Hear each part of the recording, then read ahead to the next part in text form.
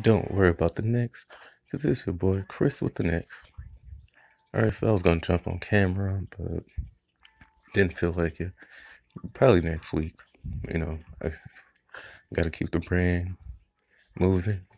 Keep on moving. Don't stop like the hands of time.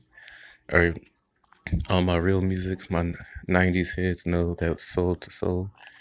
Alright, so this is just random chat. I just want to mix. Just talk about a, a couple of topics. Like the Sinbad interview on Charlemagne, um, the God Show, The Breakfast Club. Um, that was one of the interviews where I wish it didn't end. He was just spitting straight knowledge, and he wasn't really the um, Hollywood's um, happy Negro. He, really, um, you know, like he really uh, took control of his own um, career and stuff, you know. And like Mo'Nique, you know, you can get ostracized for that. Because, you know, they want people to be submissive and, you know, just do whatever they want. And some people like, no, we're not fit to do that. And he was saying like these shows, what really struck me about these shows, like these black shows in the 90s, none of these shows are supposed to be great. He said Living Single wasn't supposed to be great. Martin wasn't supposed to be great. The Cosby Show wasn't supposed to be as big as it was supposed to be. Uh, Magnum PI was supposed to um, cancel the Cosby Show, and it ended up getting canceled. Then The Simpsons was supposed to outtake, um, take out the um, the Cosby Show, and it didn't. I mean, The Simpsons still running. It's not as popular as it was in the '90s, but uh, Bill Cosby um, just what he what Sinbad said he had just uh, when the first the I guess the last season when the Simpsons first came out, he did an episode and it started off where oh look at the Simpsons that's a great show. So now and then he was supposed to buy out NBC, so now it's starting to all kind of make sense of why all these so-called allegations is coming out about Bill Cosby. You know, starting to paint a picture. You know, like this man was really powerful, and he was really a positive influence into black community. And shows like Living Single and New York Undercover, I guess it wasn't supposed to be great, because um, like with Living Single, um, Living Single is the reason why Friends um started. Um, because Living Single when it was big at the time, because when it first came out, you know, it did kind of start off like one of the male bashing shows where men can do this, men can do that, and although you had um, Overton and and Kyle Barker, they really didn't. again, they really didn't put their opinion. Cause like when like with the first episode, you had um, Regine talking about why can't I find a man to, you know, hold me down, and then Queen Latifah was like, cause they keep dropping your ass, and then when the season progressed, you know, she was still looking for Mr. Right, but she started working for a boutique. Then she was on Palo Alto doing dresses. And then she, and once the season ended, she ended up finding that Mr. Right. You know, the show really progressed, and it was one of the biggest shows on Fox to the point where the director for Friends, before Friends came out, whose name I forgot, Queen Latifah said, she saw in a magazine where he said, if there's any show that you could have that's the, that's on the network now, which one would it be? He said Living Single, and they took that and made Friends into it, and you can kind of see some of the character influences on um, from Living Single on Friends, like with Rachel being in a boutique, um, Joey being an actor, kind of goofy like Synclaire, and he eats a lot. You know, you could see the little influences. And then New York Undercover, that was the hood's version. Uh, New York Undercover, that was the hood's version of um of Law and Order Special Units. You know, that was a great show, and I feel like the you know the big wigs probably wanted them to play with more cliche stuff and end up turning it out to be a real show. A show that didn't play with cliches, they dealt with real hood stuff. That was in New York, you know, I'm in LA, but still, you know, a hood is a hood. And um, yeah, that's what cause Malik Yoba has said that it was it, it was it was supposed to be as um, great and go all over the world as it should should have. It wasn't supposed to do that. So that that paints a, a really really really um, good picture.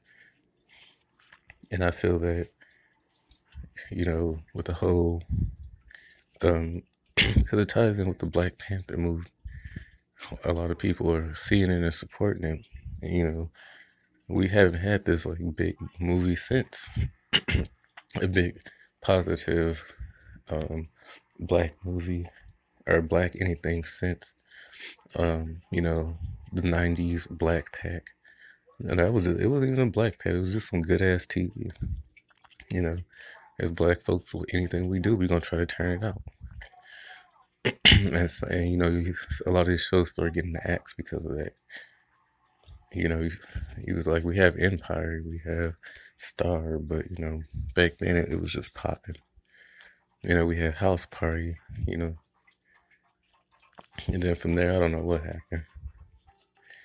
All right, so another topic, um, the Queen's Court, Khia's self-sabotaging career. And I seen another video she did. Sorry, got something in my throat. I seen another video where she did, you know, dissing, you know, just T.S. Madison, you know, saying, oh, that's a man, it's never gonna be a woman, you know, T.S. Mandy Ho. But you knew all this stuff before you started uh, doing videos with her. And the thing about it is, you was sitting on that leather couch for years, and that shit didn't go nowhere. And then you did stuff with P. Weezy in like this bum ass studio, but the only time that you had a video that trended was when you was talking shit about Beyonce, Beyonce's Lemonade, and the game was gonna uh, place hands on you. So then that's when you did the Queen's Court, and you left Pee Weezy high and dry.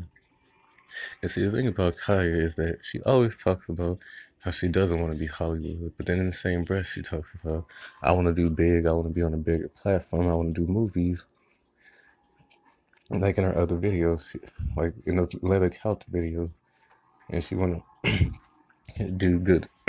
um, like she want to be on a bigger platform, and then she gives opportunities, and she sabotages them.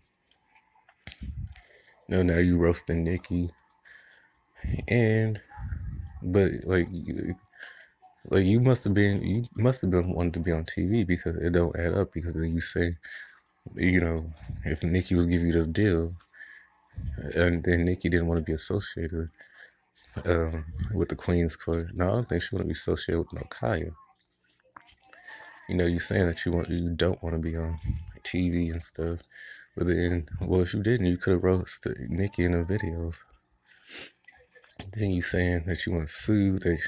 Uh, TS was stealing, but then at the same breath, you said, "Oh well, I, I didn't invest nothing in that. That was all her money." and that's why I, don't do collaborations and stuff with people because stuff like this it shows people's true colors, and people feel some type of way. And um, and TS was already bigger. It was already big in the industry before um, Khia. Because some people know Khia from the internet and my neck, my back. Some people know Tears from a lot of other stuff, like the um, carpool um, uh, thing, and like she knows a lot of celebrities. But uh, Janet, I mean Janet, Khia, just like the whole Janet Jackson situation, is sabotaged herself. There's already facts because you could have roasted Nicki. If, now she roasted Nicki because you know now that this has happened, but this just goes to show you that some people is two faced, they can turn on you. At least TS is uh, more civilized. Not even mentioning Khia. And Khia, of course, just being her old hood rat self. just gonna be selling albums at the the local corner juke joint liquor store. Cause that's who buying your albums. You know, cause next next caller actually could have potentially been a big hit since my neck my back. It, it really could have, but I feel like she didn't really take the opportunity and just you know switch it up a little bit. But then in the next color video, you know, she trying out different looks and wigs and stuff. So Khia is one bipolar person. She talking about she wasn't feeling Roman, and, you know, Nicki's um, little persona, but I think she got a little Roman in her too, or some alter ego. Cause one minute is this, you know, I didn't invest no money in there, and in the next moment is, oh, I'm finna sue because you steal. um, I need to get all my coins. I, you know, I wish you do good so I can get all my coins. Well, that means you broke. You know, this was this could have been potentially big, but as again, Khia made her own self flop. All right, that's all my thoughts for random chat. Um, thoughts, questions, concerns, leave them in the comment section below. Till then, this will be your boy Xhris with the next. Peace.